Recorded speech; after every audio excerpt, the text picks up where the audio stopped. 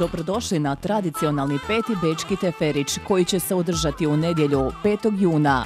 Sportplac Gablic, Beč, nastupaju Jana, Haris Berković, Zlata Avdić i Ibro Bublin.